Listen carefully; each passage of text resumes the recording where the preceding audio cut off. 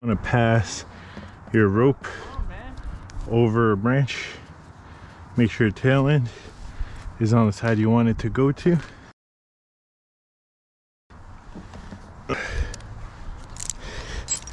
Take your device off, clip that carabiner to the butterfly, and then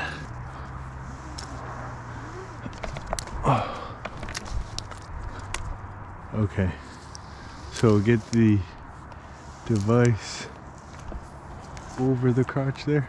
Good. And just bring it right back down.